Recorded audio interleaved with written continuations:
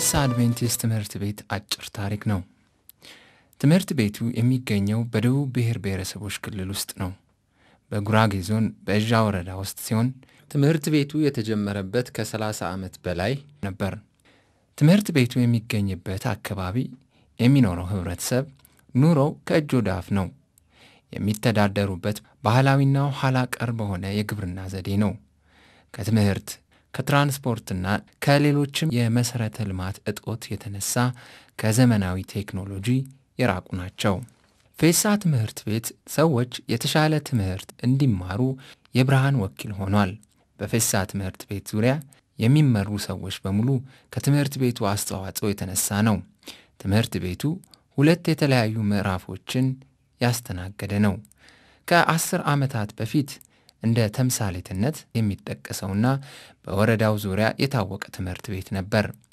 በጥራት የሚያስተምሩ መምህራንና ጥራት ያላቸው የመማሪያ መጽሐፎች የነበሩት፣ ይህ ደግሞ የመማር ማስተማር ሂደቱን ቀልጣፋና ፈጣን አድርጎ ቆይቷል። ከዚህም በተጨማሪ የተለያዩ እርዳታዎች ለትምህርት ቤቱ ከተለያዩ አቅጣጫዎች ይለገሱ ነበር። የአካባቢው ህብረተሰብም በተለያዩ ስራዎች ውስጥ ምግብና ልብስ በመውሰድ ይሳተፍ ነበር። በመሆኑም ትምህርት ቤቱ ብዙ የእውቀት ሰዎችን ለማፍራት በቅቷል። ብዙ ምሁራን፣ ሐኪሞች፣ ኢንጂነሮች እና የሌሎችም ሙያ ባለቤቶች ከትምህርት ቤቱ ፈልቀዋል። ለዛሬ ከዚህ ውስጥ ብዙዎች የዲፕሎማ የዲግሪና የማስተርስ ሊቃውንት ሆነዋል።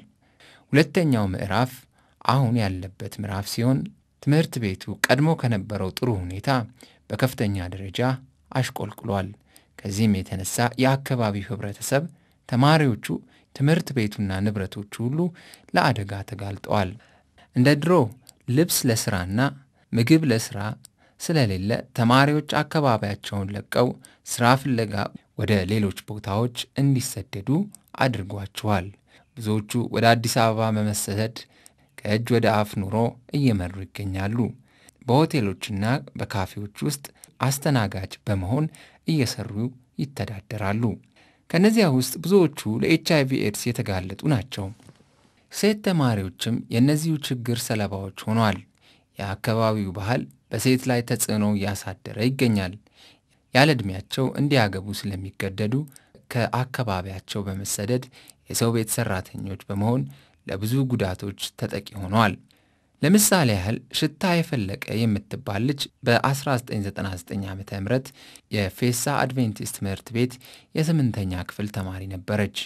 ነገር ግን የየወሩ የትምህርት ቤት ክፍያ መክፈል ስላቃታት ለማቋረጥ ተገዳለች። ከዚህ የተነሳ ወላጆቿ ወደ አረብ ሀገር ወይም ባህሬን በ2000 ዓ ም ላኳት። ነገር ግን ለብዙ ችግሮች ተጋልጣለች። ለምሳሌ ከሀገር ስትወጣ መጽሐፍ ቅዱስ ይዛ ስለወጣች አካላዊ፣ ስነ ልቦናዊ፣ ለማኅበራዊ ችግሮች ሰለባ ሆናለች። በመጨረሻም ላይ ወደ ሀገሯ ለመመለስ ተገዳለች። አሁን በጤንነቷ ላይ ችግር የላትም። ትምህርቷንም መቀጠል ትፈልጋለች። ይህ ሁሉ ችግር የደረሰባት የትምህርት ዕድል በማጣት ምክንያት ነው። አሁን ጊዜው ነቅተን የምናስብበትና የትምህርት ቤቱን ወርቃማ ዘመን የምንመልስበት ጊዜ ነው። ይህን ታሳቢ በማድረግ ለትምህርት ቤቱ ማገገም የሚሠራ አዲስ ኮሚቴ ተዋቅሯል። የኮሚቴውም ዓላማ ይህን ችግር ለመቅረፍ የሚያስችል ፕሮጀክት መቅረጽ ነው።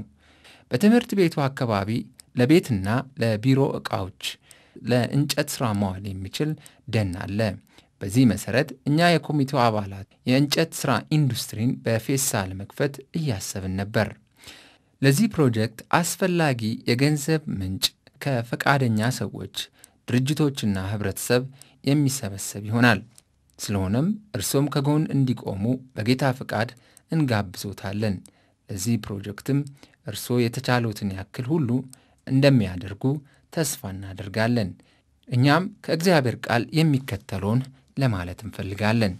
ወደ ክርስቶስ የሚያደርስ መንገድ ከተሰኘው መጽሐፍ ሥራና ሕይወት የሚለውን በተመለከተ የክርስቶስ የሥራና የመታዘዝ ሕይወትን እንደ ተምሳሌትነት ለማቅረብ እንፈልጋለን። እግዚአብሔር ለዓለሙ የሕይወት የብርሃን የደስታ ምንጭ ነው። ጸዳለ ብርሃን ከፀሐይ እንደሚወጣ ፈሳሽ ውሃም ሕይወት ካለው ምንጭ ፈልቆ እንደሚጎርፍ በረከት ከእርሱ ወጥቶ ለፍጥረቱ ሁሉ ይጎርፋል። የእግዚአብሔር ሕይወት ያለበት የሰው ልብ ሁሉ በፍቅርና በበረከት ለሌሎችም ሰዎች የሕይወት ውሃ ያጎርፋል።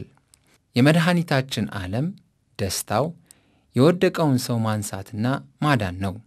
ስለዚህ ሕይወቱን እንደ ከበረ ነገር አልቆጠረውም። ነገር ግን የመስቀልን ሕማም ለመጣል ሐፍረትን ታገሰ። እንዲሁ መላእክት ሌላዎችን ደስ ለማሰኘት ሁልጊዜ ይሠራሉ። ደስታቸውም ይህ ነው። ለድሆችና ለተዋረዱ ሰዎች ዝቅ ላሉ ሁሉ ማገልገል እንደ ውርደት የሚቆጥሩ ጥቂቶች አይደሉም። ዳሩ ግን ይህ ሥራ ለመላእክት የከበረ ሥራ ነው።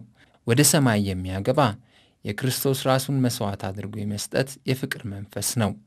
የክርስቶስ ተከታዮች የሚያገኙት መንፈስ የሚያደርጉትም ሥራ ይህ ነው። እንግዲህ የፌሳ አድቬንቲስት ትምህርት ቤት ጥሪ ይህ ነው። እግዚአብሔር ይመስገን። በጉራጌ ክፍለ ሀገር ወይም በዚች በሸዋ ውስጥ ነው ያለው። እዣ የሚባል ወረዳ ውስጥ ነው የምንገኘው። በዛች አካባቢ ላይ በዛ ያሉት ችግሮች፣ ውስብስቦች፣ በተለያዩ አይነቶች የህዝብ ስቃይ ቦታ ነበረ። ያ ቦታ ፌሳ ይባላል። በዛ በፌሳ ዙሪያ ያለው እንሰት መድረስ የሚችል በሀያ ዓመት ነበር። ይሄ ያ ቦታው የኢትዮጵያ አድቬንቲስት ቤተ ክርስቲያን እንዲሁም የሲያሬስ በጎ አድራጎት ክፍል በአንድ ሁኖ ህዝቡን ለማዳን ተጀመረ። እንዲሁም ደግሞ እነዚህ እናቶች ለማዳን የተወሰነው ልክ ህፃናቶች ልክ የእጃቸው ቅልጥም እቺ ጣቴ ትንሿ ጣት ያክል ነበረ። ምክንያቱም በዛ ወቅት ልጆች ወላጆቻቸው በአጠቃላይ ወንዶች ወደ አካባቢ ወደ ጦር ሜዳ በአጠቃላይ ሂዶ ነበረ። በዛ አካባቢ ላይ ብዙ ችግር ደርሶ በዛች አካባቢ ላይ የነበረ ችግር እናት ገባ ቢሄዱ ገበያ ምንን ጨርሶ ታጣ። ያ ጊዜ በሰባ ሰባት ዓመተ ምህረት ነው። በዚህን ጊዜ እኔ በሰባ ስድስት ማመልከቻ ሰጠሁ ወደ አዲስ አበባ። ያው በሰባ ሰባት ይሄንን ፕሮግራም እግዚአብሔር ፈቃድ ሆኖ ተጀመረ። እነዚህ የሄዱትም ከአድቬንቲስት አድራ የሚባል እንዲሁም ደግሞ የሲያሬስ በጎ አድራጎት ክፍል አብሮ አንድ ግንባር ፈጥሮ ህፃናቶች እንግዲህ ተታች ወይና ደጋ ወረዳ አቀፍ ማለት ነው። ከላይ የደጋማ ክፍል 11 ሺህ እነዚህ ህፃናቶች ህይወት ለመታደግ ቻለ። ምክንያቱም ኪሎ እየተመዘኑ ምን ያክል ኪሎ እንደሆኑ ያላቸው ምግብ ችግር ሁሉ ነገሩ በማወቅ ህፃናቶቹ ብዙ ህፃናቶች ሊድኑ ችለዋል። በዛች አካባቢ ላይ በተለየ ግን በዛች አካባቢ ላይ ምን ነበረ የነበረው? ሁለት ወረዳ ተከፋፍሏል። ዛሬ በአንድ ላይ ሆኖ እያለ የሰማንያ ሺህ ህዝብ አማካኝ ስፍራ ተብሎ ነበረ በዛ ቦታ የተደረገው። በዛች አካባቢ ላይ እነዚህ ህፃናቶች እንደው ተሽሎ አምሮባቸው እንደገና በአካባቢ መሬት ተቦርብሮ እየተንሸራተተ አፈሩ ተራራማ ቦታ ስለሆነ ከታች ወይና አካባቢ ላይ የተለያየ አትክልቶች አይነት ችግኝ አይነት ተቋቋመ። መሬት ገደላ ገደል የሆኑት ዛፍ ተከላ፣ የመሬት የሳር ተከላ፣ አልፎም ደግሞ የዛፍ ችግኝ ተከላ ብዙ ነገሮች ተደርጓል። እንግዲህ ቼክዳም በዛ አካባቢ ላይ በጣም ብዙ ብዙ ሁለት ወረዳ የነበረ አንድ ወረዳ ነበረ በዛን ጊዜ እና በአንድ ወረዳ አቀፍ ወረዳ ማዕከል ሆኖ ፌሳ ብዙ ህዝብ አገልግለዋል። እና በዛ አካባቢ ላይ በዚህ ብቻ አልተወሰንም። መኪና መንገድ መውጫ መግቢያ አልነበረም። የተሰሩ መንገዶች አሉ። ለምሳሌ ከዝግባ ቦታው አንስቶ እስከ ዳርቻ ገብሬ የሚባል ከዛ ዋቤ ከዛ ደግሞ ወልቅጤ መኪና መንገድ ተዘረጋ። ከኩያ አንስቶ እስከ ሁለተኛ ደረጃ እንድብር ደረጃ ድረስ ያው ምግብ ለስራ ተሰራ መንገድ። ከዛ ደግሞ ከስራይ በላይ እስከ ኦርት ገብርኤል የሚባል ቤተክርስቲያን ድረስ ያው ተሰራ። ከፌሳ አንስቶ እስከ ሶርገረፋ የሚባልና ከዛ ደግሞ እስከ ኩበና ተሰራ። ከአንድ መቶ ኪሎ ሜትር በላይ ተሰርቷል። በዛች አካባቢ ላይ ይህን ስራ ሁሉ ሲሰራ ከላይም ከታቹም የነበረ ህዝብ አበርታች አጠናካሪ የነበረው ፌሳና ግብሳደር የሚባል ህዝብ ነው። በእውነት ይሄ ህዝብ በጣም ነው ማደንቀው። የዚያን ጊዜ የነበሩ አዛውንቶች ትልቅ ወኔ ነበረ። የየትም ቦታ ትምህርት ቤት እናቆምበት አተን የትም ቦታ እግራችን የምናርፍበት ቦታ አተን ያ አካባቢ ገደብ ገበሬ ማህበር የሚባሉ ሰዎች ነበሩ። እነዛ ሰዎች ሌላ ቦታ ላይ ሁሉ ማረፊያ ቦታ አጥቼ በዛ ቦታ ላይ ነው ያ ቦታ ላገኝ ቻልኩ። በዛ ቦታ ላይ ብዙ ዛፍ ተተከለ። አሁን ያ ዛፍ ትልቅ ግንድላ ሆነ። ያ ግንድላ ብቻ ሳይሆን ገበሬ ማህበር በየቦታ ስለተከለ በዛ አካባቢ ላይ የራሱ የገበሬው ትልቅ ዛፍ አለው። ዛፉ ይጨፈጨፋል። በምን አይነት በማይረባ ብንጨት ገበሬ ተሸክሞ ሂዶ እየሸጡ እንዲሁም ቤት የሚሰሩ ሰዎች። አሁን ግን መሳሪያ ከዚህ በፊት በተለያዩ ይሄ አገር ያለ ህዝብ ከልክ ምኒልክ የዚህ የባቡር ጣቢያ ወይም ባቡር ወደ አዲስ አበባ እንደገባ የኢትዮጵያ ህዝብ ነው የጎረፈው። የዛኔ ታመነ ባንቆ የሚባለው ነበረ የዛ የጉምሩኩ ዋና የእቃ ተሸካሚ ኃላፊ። የኔ አባት በዛ ቦታ ዶክተር ይሉት ነበረ ወይ ሐኪም ይሉት ነበረ ከመሸከሙ የተነሳ የአካባቢ ህዝብ ትምህርት ለመማር ማንም ያስረዳው ማንም ይነግረው አልነበረም። ምክንያቱስ ብቻ እንደ አህያ ጀርባው ለስራ ብቻ የታደመ ህዝብ ነበረ። ከዛ የነቁት ግን አንዳንዶቹ ብልጦቹ በፈረንሳይ ቋንቋ በተለያየ አይነት ትምህርት አገኙ። እነዛ ሰዎች ግን አላገኙም።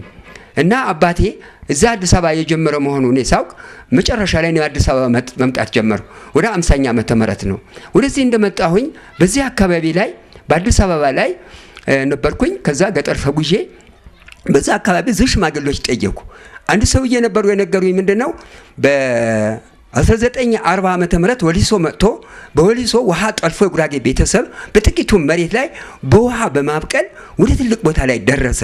የዛ አካባቢ ህዝብ ኦሮሞ በእርግጥ ያን አያውቅም ነበረ። ጤፍ ባለቅጥ ዘርቶ እንደዚሁ የተለያየ አይነት በዛን ጊዜ በጥቂት ሰርቶ ቆርቆሮ ቤት ያለብሳሉ። ሽንኩርት ነበረ የሚተከለው በዛች አካባቢ ላይ ይህ ሰውዬ ወደ ኃይለሥላሴ ፊት ቀርቦ የጉራጌ ቤተሰብ እየተበተነ ነው፣ ወደ አዲስ አበባ እየሄደ አቃቂ እንዲሁም ደግሞ ሻንቀላ ወንዝ የሚባል የተለያየ ቦታ ዛፍ እየተከ እንትን አትክልት የተከለ ይኖራል። ከሚስቱ ከልጆቹ ተለይተዋል። አገሩ ላይ ውሃ አለው። ውሃው ግን ጎድጓዳ ነው። በዛ ውሃ አውጥቶ ይጠቀም ብሎ ሰውዬ የነገሩኝ ሰውዬ አሉ። ግን ይህ ሰውዬ አሁን አልፏል ህይወታቸው እና በዛች ሀገር ላይ አሁን በቅርብ ጊዜ አንድ ስራ ተፈጠረ። ይህ ስራ ምንድን ነው? ፖም የተባለ ነው። ፖም ደግሞ ከጨንቻ አገር እኔ ሂጄ ካየሁ በኋላ ዛሬ እንግዲህ ወደ ስድስት ዓመት ነው።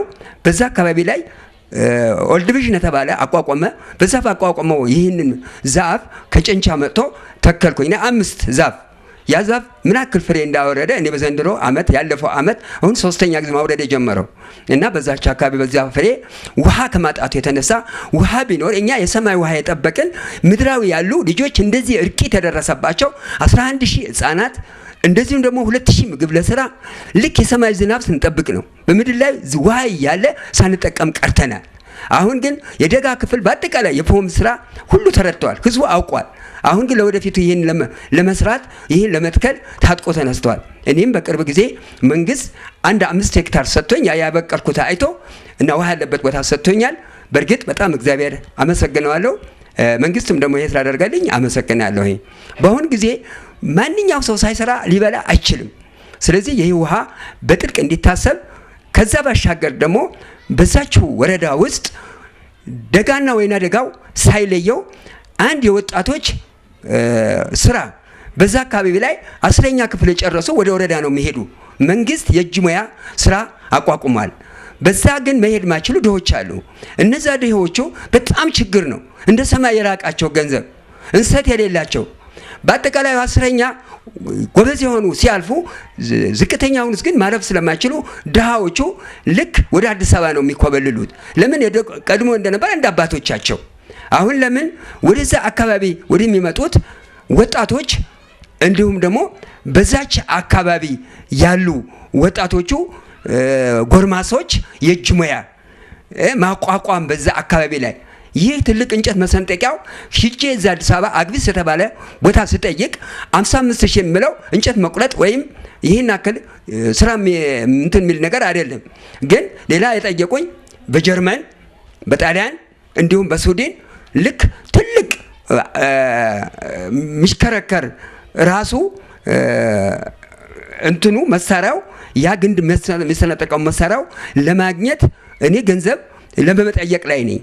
እጁ እንዲዘረጋልን እነዚህ ወጣቶቹ በወረዳ ደረጃ ያሉ ወጣቶቹ ወደ ከተማ ከመኮብለላቸው ከዘመኑ በሽታ ከመጋለጣቸው ከሞት ታደጓቸው።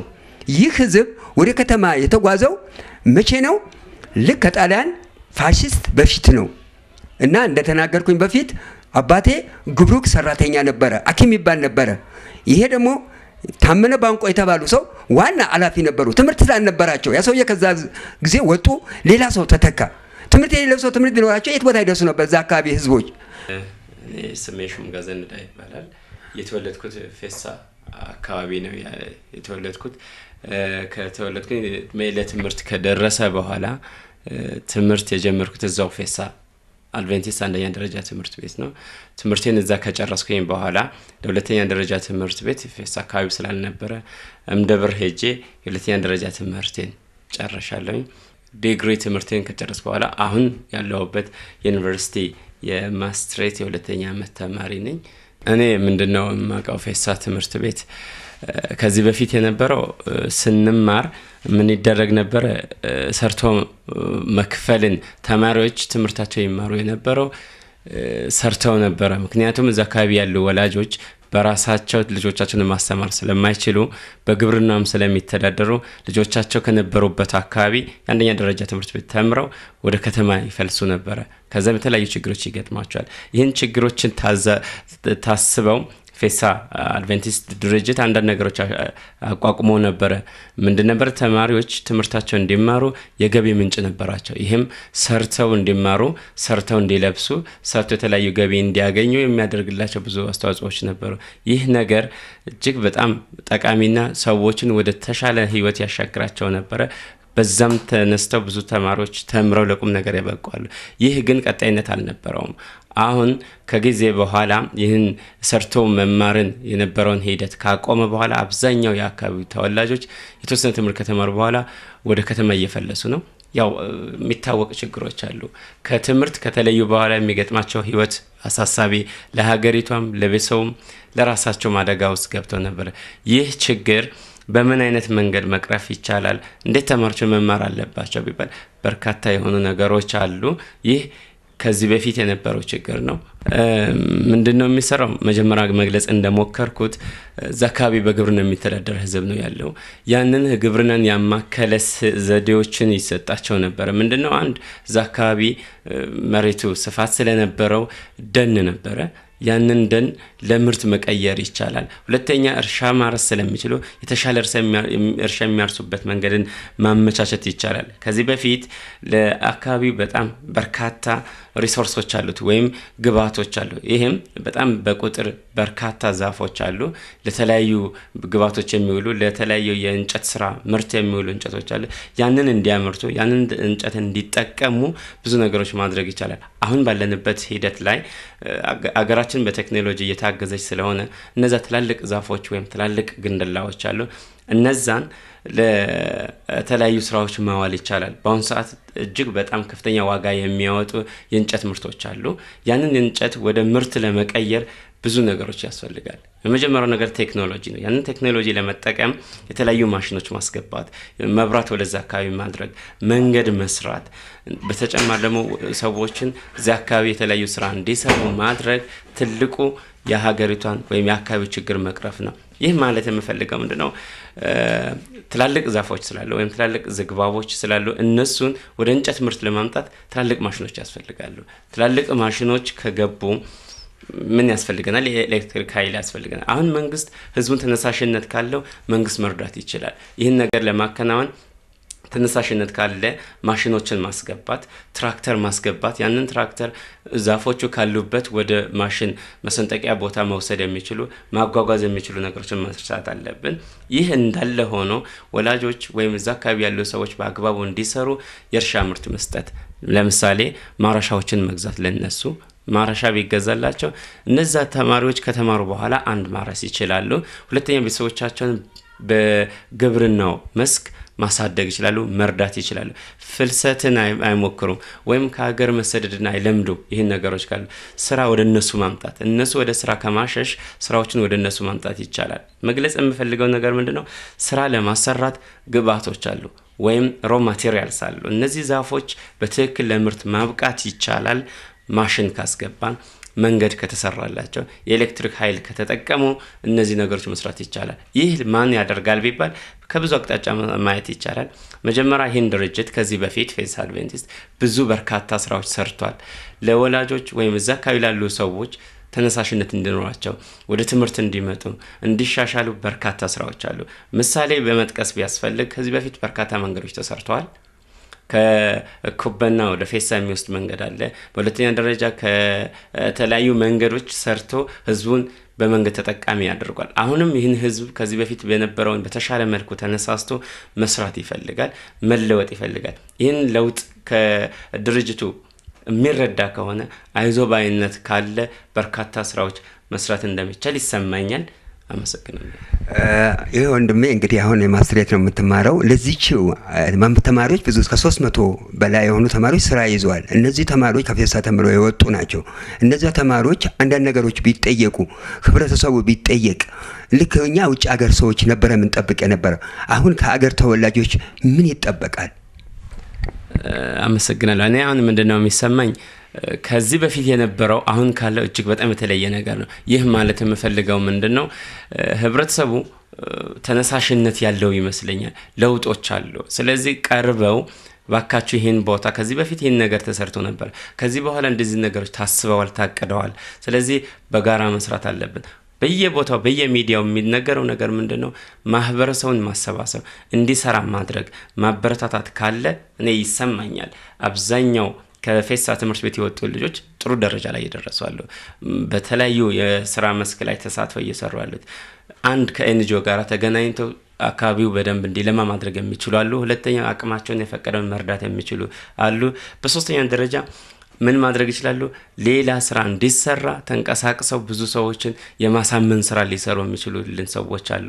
ስለዚህ ይህን ተነሳሽነት ካለ አላማውን በትክክል ከተገለጸ ብቻ የውጭ ሰው ወይም ብቻ የኤንጂኦ ሳይሆን እዛው አካባቢ የተወለደ ወደ ጥሩ ህይወት የተሻገረ ሰው መርዳት ይችላል። ማነቃቃት ወይም ማነሳሳት ይጠበቅብናል። ይህን ነገር ከተሰራ በደንብ መርዳት ይችላሉ፣ መለወጥ እንችላለን ብዬ አምናለሁኝ። እሺ መጀመሪያም እንደገለጹት ለአንድ አካባቢ ልማት ወይም ለአንድ አካባቢ እድገት ወሳኝ ነገሮች አሉ፣ ወይም መሰረታዊ የሆኑ ነገሮች አሉ። አንድ መንገድ ነው። ሁለተኛ ይሄ ቴክኖሎጂን ማስገባት ነው፣ ወይም የኤሌክትሪክ ኃይል ማግኘት ነው። ይህ እንዳለ ሆኖ አሁን የአካባቢ ተወላጆች የግድ ልማት ወደዛ መግባት አለበት ብሎ ስለሚያምን የተለያዩ የተማሩም ሰዎች ስላሉ ያን አካባቢ ሊያገኙ የሚችለው ቅድሚያ ሊያገኙ የሚገባ ነገር ምንድን ነው? መንገድ ነው። ያንን መንገድ ለማሰራት የአካባቢ ተወላጆች ታናሽም ታላቅም በእድሜ የገፉትም ወይም ህጻናትን በሙሉ ተሰባስበው በየ15 ቀኑ የተወሰነ ስራ ይሰራሉ። ይህም የተወሰነ የገንዘብ አቅም አደራጅተዋል። የተለያዩ የሰናይ ድርጅቶች ለመጠየቅም በቅድመ ሁኔታ ላይ ይገኛሉ። የተለያየ ደብዳቤዎችን አሰራጭቷል። ስለዚህ የተወሰነ step ሄደናል። በትክክል ግን በቁጥር ይህን ደረጃ ላይ ደርሰናል ባልልም የተወሰነ ለውጦች አሉ። የአካባቢ ተወላጆች እየተሰባሰቡ ነው፣ እየተነሳሱ ነው። መንገዱ የተወሰነ step ሄዷል። ጎን ለጎን ግን ይህን ነገሮች መሰራት እንዳለባቸው ይሰማኛል። በተጨማሪ ምንድን ነው መናገር የምፈልገው ዋናውና መሰረታዊ ነገር ልማት ለመስራት ሲታቀድ ምን መደረግ አለበት? አንድ ሰለቸኝ ወይም ደከመኝ ላይ የማይሉ ኮሚቴዎችን መቋቋም አለባቸው። ሁለተኛ እጅግ በጣም በርካታ ኃይል ስላለ እነዛ ኃይሎችን በቅደም ተከተል ማደራጀት፣ ማሰባሰብ እውቀት መስጠት ማስተማርና ከዛ በኋላ እነሱ ልርዳ ያስፈልገኛል ይሄ የኔ ድርሻ ነው ብለው ሊሰሩ የሚችሉበት ደረጃ ላይ መንቀሳቀሱ ትልቅ ዋጋ አለው ብዬ አምናለሁ። አዎ በካፌም በቡና ቤትም ሰርቻለሁ። እዛ ጋ ያለው ችግር በጣም በጣም አስቸጋሪ ሁኔታ ነው ያለው። እዛ ጋ ከስራ ለሚመች የጊዜ ህይወት ማቆያ ስጋ ማቆያ ካልሆነ በስተቀር እዛ ጋ የሚሰራው የሚታየው ነገር ሁሉም ነገር መልካም ነገር የለም፣ መጥፎ ነው። ስራው አርኪ አይደለም። ተሰርቶ ደግሞ ውጤታማ የሚያደርግ ስራ አይደለም። እዛ ጋ የሚሰሩ ደግሞ እህቶቻችን ብዙ ተጽዕኖ ያለባቸው ድብድብ፣ ዱላ ከዛም አልፎ ተርፎ ራሱ በቃ የተጎሳቆለ ህይወት የሚኖሩበት ነው ካፌና ሆቴል ማለት። ጥሩ ስራ ሰራሁ ምለው ከቡና ቤት ከካፌ ከተለየሁ በኋላ አሁን በምሰራው ስራ በትራንስፖርት ውስጥ ገብቼ የምሰራው ስራ ነው። ህይወቴን መምራትና እንዴት መኖር መቻል ያሰብኩት ስራ አሁን ነው። በዛ ህይወት እያለሁ ምንም ምን አይነት ኑሮ እንደምኖርም ምን አይነት ስራ ምን እንደምሰራ ማላቀውም። ለምን እዛች ጋር ምንም ነገር የለም። በቃ የሆነ የተቅበዘበዘ የሆነ ጨለማ ያለ ህይወት ነው እዛ ጋር የሚኖረው ስራ እዛ እያለሁ የመማርም እረፍትም የማግኘት መብት አልነበረኝም። ከዛ ከወጣሁ በኋላ ግን አሁን የማታ እየተማርኩ ነው። ቀን ቀን እየሰራሁ በማታ ክፍለ ጊዜ ደግሞ ባለኝ ሰዓት እየተማርኩ ነው። አሁን ምን ስራ እየሰራህ ነው? አሁን በሾፌርነት ስራ እየሰራሁ ነው። አሁን እንግዲህ እዚህ ላይ የምታስተላልፈው ነገር ቢኖር የጉራጌ ቤተሰብ ወደ ከተማ የከነፈ ነው። ወደ ከተማ ልክ አሞራ እንዳለው ክንፍ እንዳለ የበረረ ነው። ይህ ወጣት ምን ብለህ ትመክረዋለሁ? ከገጠር ወደዚህ ነው የሚበረው። ማንኛውም እንደው ኢትዮጵያዊ የሆነ በኔ እድሜ ያለ ሳይሆን ከኔ እድሜ በታችን በላይ ያለው ወጣት ማንኛውን ሰው በቡና ቤት የቡና ቤት አላማ አዲስ አበባ እመጣለሁ ብሎ እንኳን ቢያስብ ባይመጣ የተሻለ ይመስለኛል። ከመጣ ግን የቡና ቤት ስራና የካፌ ስራ የሚባል ነገር በአእምሮውን ሳያስገባ በሌላ በቃ በትምህርቱና በሌላው ንግድ አለም ቢሰማራ ብዬ ነው መክረው። አዎ በእርግጥ ያን ገንዘብ ለማግኘት ብዙ ቦታዎች ሊገባ ይችላል። ግን ቀደም ብሎ እዚህ ጋር ማሰብ ያስፈልጋል። ለምን ገንዘብ ማገኛ በቂ የጊዜ ያን ትምህርቱ የሚቀጥልበትና የራሱ ህይወት መምራት የሚችልበት ወደ ሆቴል ከመግባት ወይም ካፌ ከመስራት የቀን ወዛደር ሆኖ ተሸክሞ የተለያየ ንግዶችን እንኳን ቢያንቀሳቅስ ቀን እየሰራ ማታ መማር ይችላል። ሆቴል ላይ ከሆነ ግን ይሄን እድል ሳንቲሙን ቢያገኝ ይሄን እድል ደግሞ አያገኘውም። አው በእርግጥ እዛ ጋር ብዙም ጉልበትና ብዙም አቅም ቢኖራቸውም ወይም የመስራትን ፍላጎት ቢኖራቸውም ከመሬቱ ጥበት አንጻር አንድም ደግሞ መሬቱ የሚመች አይደለም፣ ለእርሻ የሚሆን መሬት አይደለም። ወደዚህ ከመምጣት ግን ያለው አማራጭ እዚህ ጋር መጥተው ህይወታቸው ከሚጎሳቆል ምንም በአላማ መድረስ አይችሉም። በትምህርታቸው እድል ሊያገኙ አይችሉም። ሰርተው ደግሞ እዚች ጋር አንድ ጊዜ ሆቴል ከገቡ በኋላ ህይወቴን ይለውጣለሁ ማለት በጣም በጣም ዘበት ነው። በጣም እዛ ባሉበት አካባቢ ሰርተው ጠንክረው ቤተሰቦቻቸው እየረዱ የተሻለ አማራጭ መሬት እስከሚያገኙ በልማቱ ቢሰማሩ ብዬ ነው መክረው። ከልማት ባሻገር ትምህርት አለ። በዚህ በጉራጌ ሀገር ላይ አሁን ትምህርት በየቦታ ተከፍተዋል። እነዚህ የተከፈቱ ትምህርት ቤቶች ብዙ ወጣቶች ግን ትምህርታቸው ሰኔ አራግፈው ይመጣሉ። እዚህ መሸቀል ይለምዳሉ። እዚህ ሆቴል ቤት መግባት ይለምዳሉ። ከዛ በኋላ ገንዘብ ይዘን እንሄዳለን ያሉ፣ በዛ በኋላ ብዙ ልጆች ይቀራሉ። ለምን ይመስላል? ይህ የሚመስለኝ አንድም እዚህ ጋር የሚታያቸው ነገር የጊዜ የስጋን ነገር ነው። እንግዲህ የስጋ ፍላጎት ለማርካት ነው። ያ ሳንቲም አግኝቼ እንደዚህ ትለው ለውጬ እንደዚህ ሰርቼ ይኖራለሁ የሚል ነው። የሚሳካለት ደግሞ ከስንት አንዱ ነው። የአለማስተዋል፣ የትምህርትም በቂ ግንዛቤ አለመኖር እና በዚህ ምክንያት ይመስለኛል ወደዚህ የሚመጡት። በተለይ በጨረሻ ስጠይቅህ በፌስ አካባቢ ነው የተማርከው። እስከ ስንተኛ ነው? ፌሳ እስከ ሰባተኛ ተምሬ ያለሁ 1983 ድረስ ሰባተኛ ክፍል እዛ ተምሬ ያለሁ። ከዛ በኋላ ወደዚህ መጣሁኝ። ከመጣ በኋላ የትምህርት በሆቴል ውስጥ ገብቻለሁ። ሆቴል እየሰራሁ ትምህርት መማር አልቻልኩም። ራሴንን በደንብ ማስተዳደር ወይም የተሻለ ስራ ማገኝበት ነገርም አልተፈጠረም እና ወደ አስር አመት በሆቴል ውስጥ እንግዲህ ጨለማው ውስጥ እዛ ጋር እየኖርኩ ነበር። ህይወቴን ምን እንደሆነ አላውቀውም። ከዛ ከወጣ በኋላ እግዚአብሔር ይመስገን እግዚአብሔር ረድቶኝ እንግዲህ ትምህርት አሁን እየተከታተልኩ ነው። ስራምን ደግሞ የሌላ ስራ ቀይሬ በሌላ ፊልድ እየሰራው ነው። አዎ በእርግጥ እዚህ ጋ ገጠር እዚህ ጋ ያለው መሬት በልማት ውስጥ የገቡ ነገር የለም። ልማት የሚባለው ነገር የሚያውቁ የለም። ግንዛቤ ትምህርቱ የላቸውም። የትምህርቱ ብቁ እውቀት ቢኖራቸው ወደዚህ የመምጣትና ሀሳቡም አይኖራቸውም ነበር። እዚህ ጋር መጥተው ምንድን ነው ቶሎ ሳንቲም አግኝቼ ተለውጬ እንደዚህ ያደርጋለሁ ነው። ውሸት ነው፣ አይሆንም። በአሁኑ ሰዓት ቴክኖሎጂ በጣም ያደገበት ነው። ያልተማረ ሰው እዚች ጋር ምንም የስራ እድል ማግኘት አይችልም እና ተምሮ ደግሞ ከስንት አንዱ ራሱ በተለያየ ነገር በራሱ ጥረት በተለያየ እርዳታ ካልጎነ በስተቀር እዛ ጋር ወደዚህ መጥተው ስኬታማ ሆናለሁ ማለት ውሸት ነው። ለምን ግንዛቤ የለም፣ ትምህርት የላቸውም። ከጉሊት የአስር ብር ወይም የአምስት ብር እቃ ይዘው ወጥተው ያን ነገር ትርፋማ ሊሆን አይችልም፣ የቀን ጉርሻቸው ሊሆን አይችልም።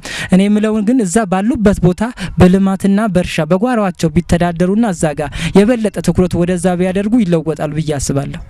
በእውነት እኔ እንዳ እኔ እንጃ ይሄ ነገር እውነት አገሬ ላይ ፌሳ ይሄን ሙያ ተቋቁሞ ነው የምችለው ነገር በኪሴ ቀርቶ በገንዘቤ ቀርቶ በምችለው ባለኝ ኃይል ሁሉ ተጠቅሜ የምችለው አስተዋጽኦ እዛ ነው ያደርጋለሁኝ። ቃል እገባለሁ እኔ እነሱ አዎ በዚህ በሚሰሩበት ሰዓት እንግዲህ ይህን ሙያ የመሰለ ነገር እዛ ሀገራችን ይህን ሙያ ተቋቁሞ ይህን ነገር ለማደራጀት የሁላችንም ጥረትና የሁላችንም ስኬታማ ያደርገናል። የአንድ ሰው ሩጫ የትም አያደርስም። ሁላችንም ተባብረን ይህን ሙያ የሚገኝበት እዛ የሚቋቋሙበት መንገድ እንዲፈጠር እኔ ይህን መልእክት አስተላልፍላቸዋለሁ። እንግዲህ ስምህን ታሪኩ ሽኩር እባላለሁ። ከፌሳ ከፌሳ አድቬንቲስት ሰባተኛ ቀን አክባሪ ክርስቲያን ነኝ። ትምህርቴ ከአንድ እስከ ሰባት ፌሳ ትምህርት ቤት አጠናቅ ወስጃለሁ። ከዛ በኋላ በ1983 ወደ አዲስ አበባ መጣሁ። አንድ የአስር ዓመት አክል ሆቴል ሰርቻለሁ። በሆቴልም የትምህርት እድል ስላጣሁ የቀንም የአምልኮ ቀንም ነጻነት ስለሌለኝ እስራት ስለነበር እግዚአብሔር ከዛ ላቆኝ አሁን የተሻለ ስራ እየሰራሁ ትምህርቴም እየተማርኩ እገኛለሁ። አሁን ህይወቴን ይህን ይመስላል።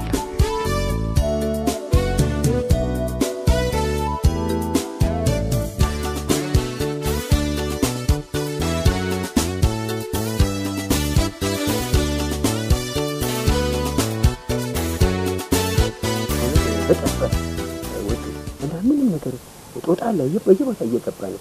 ግን እግዚአብሔር በዚህ ቦታ የሱ ወሰደው ጥንቃቄ እኔ እግዚአብሔር ነው ብዬ ነው የምወስደው። ይህም በአይናችን ያሳየን አምላክ ለወገኖቻችን እንዲያዩ። በሁለተኛ ደረጃ ልነግራቸው የፈልገው ስለ ልጆቻቸው እንዴት ማስተማር እንደሚችሉ ነው። በተለይ በሷ ብትጠይቋት ጥሩ ነው። ለልጆች ዛሬ አዲስ አበባ ይሄዳል፣ ሴት ለልጁ ጠይቅ ይሄዳል። ዛሬ ጓሮ ሊጠይቅ ሊሄድ ነው። አዲስ አበባ መሄዱ ሊቃል ነው። ለጓሮ ይሆናል ልጁ። ይሄ ትልቅ ልጁ ትልቅ ገንዘብ ያለው ልዩ ይሄ እንግዲህ አንዱ ምን ያክል እንደማዱ ይሄ እቺ ፍሬ እቺ ፍሬ ይዋል እቺ ዛሬ ውሃ ቢኖራት ሁለት እጥፍ ነበር። እንግዲህ አራቱ ሁለቱ አንድ ኪሎ ይሆን ነበር እላለሁ። አንዳንዶቻቸው የሚታዩ ግን አራቶቹ አንድ ኪሎ ይሆናሉ። ይሄ ከመቶ ሀያ በላይ ነው የሚያወርዱ። የውሃ ችግር አለብን። የውሃ ትልቅ ችግር አለብን እና እሷ በልጠ ብትገልጸው ምን ጥሩ ነው። እኔ አሁን ዋሳማ የሚባል ቦታ ጀምሬያለሁ። ውሃ ያለበት ቦታ መንግስት አምስት ሄክታር ሰጥቶኛል። በእውነት ይህንን ነገር ተመልክተው እኔ በእውነት አመሰግናለሁኝ። ማመሰግነው ምንድን ነው እግዚአብሔር ነው። እግዚአብሔር ደግሞ ሰዎች ስላነሳሳ እንድንሰራ ስላደረገ እግዚአብሔር አመሰግናለሁ። እሺ ጥሩ እንግዲህ እንደዚህ አይነት አሁን ስራዎች በብዛት ወንዶች ነበሩ ከዚህ በፊት ሲሰሩ የነበረው። ሴቶች ላይ ደግሞ በርካታ በባህሉ ምክንያት ተጽዕኖ ያድርባቸው ነበር እና ሴቶች እንደዚህ አይነት ስራ በመስራታቸው ምንድን ነው የሚያገኙት? ጥቅም? ወደ ሴቶች እናንተ አካባቢ ያሉ ሴቶችን ወደ ተግባር ሲገቡ ምንድን ሊያገኙ የሚችሉ የሚነባቸው huwa fit mumma abin takan mishtafi kabichot farin tayyib ቢቾት እዛም ሆይትን ሰብ ቢቾት ጥቅም ይያ ከዛ እሽታ ግንያ ምሽት ቾተችን ያልወተ ብያለ ምሽቱ ያጅወርትና ይሽዱ ሆይት ሞህና እኩል ቾትን እኩል ቢጠቀሙበት ምሽቱን ወት ትቾት ይሽን ሆይትም ወቶተ ሆይትን ወት ጠቀመረት አዎ እንግዲህ እሷ ያለችው ባጭሩ አንዱ ወንዱ ብቻ ሰርቶ ራሱ ብቻ የሚጠቀም ከሆነ የሴትዮ ደስ አይላትም። ግን እሷም ሰርታ ወንድየውም ሰርቶ ሁለታቸው የሚጠቀም ከሆነ ከዚህ በለጠ ምን ደስታ አለ? ደስታ ማለት ይሄ ነው እንጂ ነው የምትለው እሷ እና በአጠቃላዩ ሁለቱም ሰርቶ ለሁለቱም ነው መጠቀሚያ እና አሁን ግን ያለኝ ፕሮግራም እንዴት ነው? እኔ ነግራችሁ ነው የዚች ፍሬ ከወጣ በኋላ ግማሿ ራሷ ግማሿ ራሱ የምን ለማድረግ ነው። አንድ ባገና ቤት አለኝ እና አንድ የጎደለበት ነገር አለ ያለ መሟላት ነው። እግዚአብሔር ቢፈቅድ ይሄ ነው የሚመስለው። እሷ ግን የቤት ቁሳቁስ አለ፣ እሷ ታሟላለች ማለት ነው። አሁን እንሰት በጣም የለንም። እንሰት እኔ ሌሮን ክፍያ አላውቅም። በተለያየ ስራ ውስጥ በተለያየ ሚሽኔ ሚሽን ውስጥ ያገለገልኩኝ በሰላሳ ሰባት ዓመት ታገለግል ከዛ በኋላ ግን እንሰት እያላቅም ማላቅም ግን አሁን ሰዎች እየገዛኝ ነው። አሁን ግን ከሰጠኝ ቦታ ላይ ትልቅ ምርት ይኖረናል ብዬ አምናለሁ። እግዚአብሔር የሚሰጠን ጸጋ እስከ አሁን ያለን በእግዚአብሔር ጸጋ ነው እና ይሄ ይመስላል። ጥሩ እንግዲህ እዚህ አካባቢ ላሉ ሰዎች የእርሳቸውን አርያ በመከተል ምን እየሰሩ ነው ያሉት? ምንስ እየመከራቸው ነው ያሉት? በእርግጥ አሁን ከዚህ በፊት ይህን ትከሉ ብለን ይህን ትከሉ ብለን ይንቁ ነበር። አሁን በየአካባቢ ብትሄዱ አሁን እንደ ማሳያቸዋለሁ እየተከሉ ነው። እንደ ውሃ የተሸክሞ እያመጡ ነው። አንዳንድ ጓሯቸው ታያላቸው እና በዚህ በእኛ አሰራር በኩል በጣም ደገርሟቸው እንደዚህ ይሆናል አልተባለም፣ እንዲህ ይሆናል ብሎ ያሰበ የለም። ምክንያቱም ያየው የለማ። አብሶ ጉራጌ ቤተሰብ አንድ ስራ ካየ በኋላ በጣም ትልቅ ወደ ስራ ነው የሚጓዙት። እስኪ ያየው ድረስ ግን ችግር አለ። ካየ በኋላ ግን ማንም አይቀድመው በስራ በኩል ለሴት እህቶቻቸው ለጎረቤቶቻቸው ምን የሚያሳልፉ መልእክት አለ? በተለይ ለሴቶች በዚህ አይነት ስራ የተሰማሩ ምን የሚሏቸው የሚመክሯቸው ነገር ካለ? አዎ እንግዲህ እሽታዎ በዚህ አካባቢ ምአሩ ምክር ይቸማቴ ምቱ ይቸማቴ አሺ ሆታ አሺ ማነ ዘማ እሽታ ነረማ ለምሳሌ የትከፍና አዲስ አበባ ወጠማ ዋጋ ይጨበረማ። አይኪን በዝፍ ወረጃ ትካል በዝቾ ነው ወብ በትካል በዝ ወረጆች ነው ደንጀ ከመትጨ በሴት በዝ ተካሻት የማሪ ሆታት የማሪ ምቱ ይቸ ነው ሀል ምቱ ይቸቃል ብዙታ እና ልካችሁት ነው ተጠቀምን አህመን ለትተማን ተጠቀመና ህብምና አች እኔ በበኩሌ ወንዶች ድሮ ጀምሬ ነው የምናገረው። ምክንያቱም የማይሰራ መጽሐፍ ቅዱስ ይላል አይብላ ይላል አይብላ ይላል። እንደ በእውነት አይብላ ይላል። ይሄ እውነት ቃል ነው። ጳውሎስ ነው ያለ። ጳውሎስ ድንኳን እየሰፋ ነበረ የሚሰራ። እኔ አሁን ሰባት ዓመት ነው ጡረታ የወጣሁኝ። በዚህ መካከል እግዚአብሔር የተመሰገነ ይሁን። ይኸው ባለቤት ሽታዬ አዲስ ትባላለች። እኔ በእውነት እዚህ ደጋማ አካባቢ ናት። ለስራ በጣም ጠንካራ ናት። ለጓሯ በጣም ጠንካራ ናት። የውለው እንደምታዩት ይሄ ለሚቀጥል አንዳንድ የፖም ዝግጅት ነው። ቀድሞ ይለሰልሳል። የዋዛ ቤት ተጠዋን ይገለበጣል። ክትላት እንዲያገኝ የአንድን መሬቱ እንዲለሰልስ እና በዚህ መሰረት እኛም የተለያዩ አይነት እቅድ አለን፣ ፕሮግራም አለን። እግዚአብሔር ብዙ ነገር በአይናችን አሳይቶናል። ፊት እንደዚህ አልነበረንም። በእውነት እግዚአብሔር ፊት ነው የምነግራቸው። በቃ አሁን ባንበላ እንጠግባለን። እኔ እውነቴን ነው ፊት ቆጭ ብዬ ይገርመኛል። ልክ መንግስተ ሰማይ ፍራፍሬ አዳም ጠብቅ፣ ጓራህን ጠብቅ፣ ፍራፍሬው ጠብቅ፣ አትክልቱ ጠብቅ ያለው ተንከባከብ ያለው እያስተዋልኩ ልካ በገነት እንዲህ ያለ ጣፋጭ ምንም አሁን አሁን ላን በርታችሁ ብታይ ትገረማላችሁ። ምንም ሳይጨምር የእግዚአብሔር ብቻ ቅመም የእግዚአብሔር መድኃኒት ይሄ ስልሳ አይነት በሽታ ካንሰር ሳይቀር ገዳይ ይህ መድኃኒትም ነው የተለየ መድኃኒትም ነው። እና የኛ እንግዲህ መድኃኒት እያመረ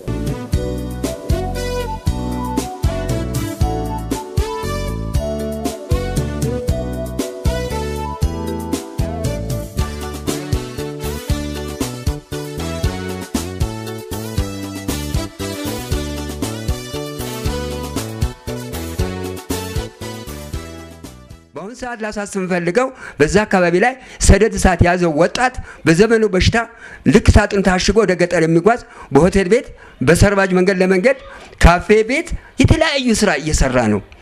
ታደጉ ለማዳን ባካችሁ ኢትዮጵያውያን ባካችሁ ኢትዮጵያውያን የሆናችሁ መልክ ያላችሁ ኢትዮጵያውያን የሆናችሁ ሳይሆን ልዩ መልክ ያላችሁ አደራ። በተለይ በዚህ ሰዓት ፓስተር ግርማ በአሜሪካን ያሉ እንዲሁም ዶክተር መረድ በእንግሊዝ አገር እና ባለፈ ጊዜ ዶክተር መረድ ተገናኝተናል። እሱ እንግዲህ የሚቻለኝ ነገር አደርጋለሁ ብለዋል። ፓስተር ግርማ ላይ ናቸው አሁንም ትልቅ ትኩረቴ እና እግዚአብሔር ግን ከእኛ ጋር ሆኖ ይሄ ስራ እንደሚፈጸም አምናለሁ። ወጣት ለማዳን ሁሉ ሰው አደራ ይነሳ ለዚህ ስራ ለዚህ እጁ ይዘርጋ። ስለዚህ እግዚአብሔር አመሰግነዋለሁ። አስጀምሮ እስከ መጨረሻ እስኪያስጨርስ ድረስ በዚህ የተካተቱ ጽሁፎች ሁሉ ወይም ያሉ ትምህርት ቤቱ አድቬንቲስት ትምህርት ቤት ተመልከቱ። ትምህርት ቤቱ ምን አይነት ችግር እንዳለበት ተገልጿል። ስለሰማችሁኝ አመሰግናለሁ። እግዚአብሔር ስጥልኝ።